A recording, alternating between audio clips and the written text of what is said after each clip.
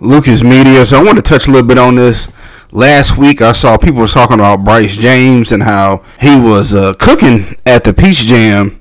For those who don't know, that's Nike's biggest event down here. But he was averaging five points a game. Now I see I seen different media outlets talk about it, all the way even down to Skip and them at uh, Undisputed. I'm gonna be honest about Bryce. Some people are saying Bryce is already better than Bronny. He has the potential to be better than Bronny. I don't know.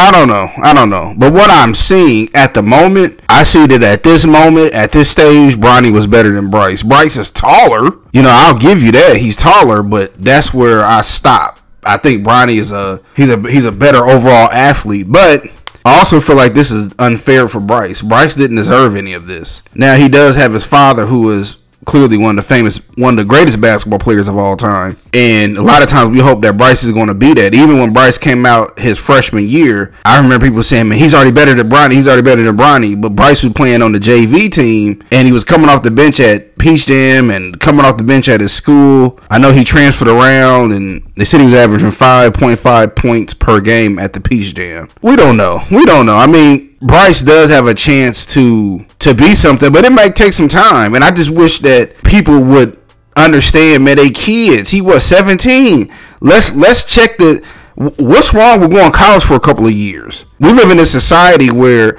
it's like you got to rush things. It's like you want to rush into being a one and done, and everybody's not like that. You never know. You know what? I mean, Bryce, things might even change in 365 days, but we put so much pressure on on these kids to be something now. You know, I be telling my son that, and, and other people like, look, everybody peaks at different times.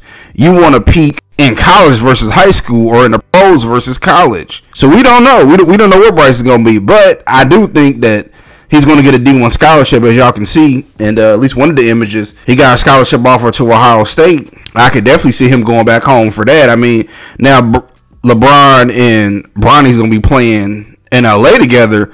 But I could see Bryce going home to Ohio for sure and paving his own path and playing. Even though he may never be able to play in the, the league with his father, he could still play for his father's dream school, which was Ohio State University. But it's just things like this that make me realize. Like I hear people talk about Jeff and, and Marcus all the time, Michael Jordan kids. Could you imagine they grew up now with the way social media was? And social media was out then, but it was still more in this baby infant stage. Now, how everything's out 24 hours a day, seven days a week. If they went out there and averaged 15 points a game, oh man, they're not Michael Jordan. They're not Michael Jordan. So let's just, let's just give Bryce some time, let him carve his own path, and see what he gonna be. I mean, he might be an NBA player, he may not, but he's definitely gonna go D1 in college. And like I said, I could even see him excelling after year two, year three. Like, what was people thinking about Dame Lillard, man? Dame Time. When he was in college, when nobody even talk about him, but did what? He went pro his senior year. Why, like, why can't we give people time like that? Some people, it's gonna take three, four years to make it, and it's okay.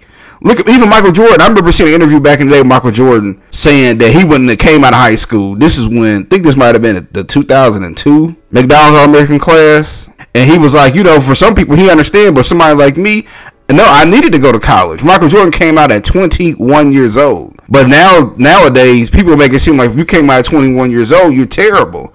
Look at Dalton Knecht. Dalton Knecht from community college to the Lakers. And people, like, oh man, he's 23. Okay, do it matter? He's NBA ready now. Like, what's wrong? What's wrong with that? You know, even the Boozer kids, you know, the Boozers, they coming out this, this year. Let them go to college, start struggling. People, oh man, this over, man, it's over for them. No, let's just give these kids some time. Things takes time, and with Bryce, we don't know until he finally gets there. But do y'all think that Bryce is better than Bronny? I just wanted, I'm just giving my opinion. Let me know if y'all agree, disagree. Am I tripping? And tell me what y'all think.